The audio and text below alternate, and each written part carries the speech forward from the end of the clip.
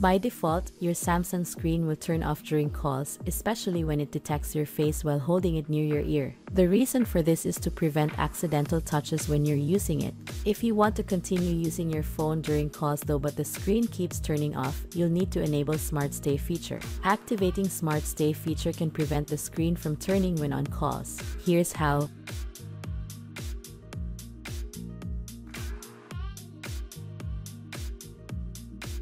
Open the Settings app.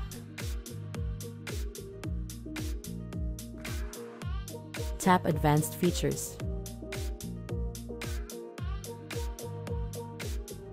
Tap Motions and Gestures.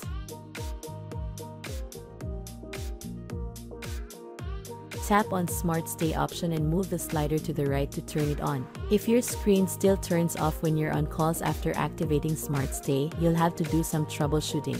Try to restart the device and see if that will fix the problem. We hope this video is helpful to you. Please subscribe and click the notification bell to know our latest videos.